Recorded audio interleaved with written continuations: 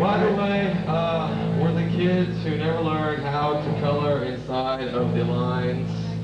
We'd like to dedicate to the show to the memory and music of George Usdin. To start with a song by George. Possibly tonight. Damn straight.